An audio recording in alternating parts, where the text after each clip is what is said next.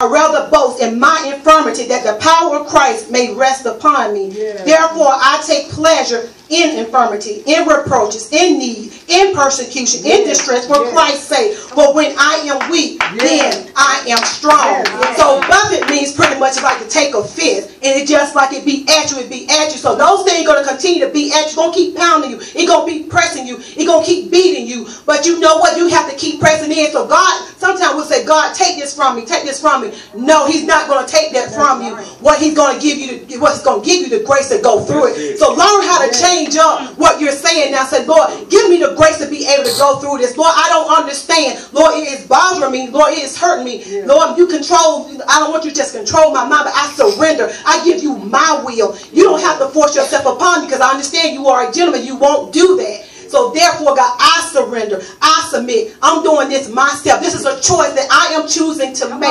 Lord, I need your help. Yeah. And you have to cry, and ask for help. He know you cannot do it alone. You just have to know, ask for it. You have not because you have not. Have not. You have not because you ask not. Closed mouth don't get fed. So you got to open up your Come mouth and say That's something. right. Say something to him, regardless of what people may think. Say something to him because this is your daddy. This is your father. Come on. He was the one that died on the cross for Yeah. sin. Not me, not the pastor, not nobody else Come here. on. It was him. So you cry out to him. Whatever you need him to do, he will do that for you. But you got to be willing to die. And if you ain't willing to die, and then you end up getting overtaken, that's going to be on you because you should have surrender.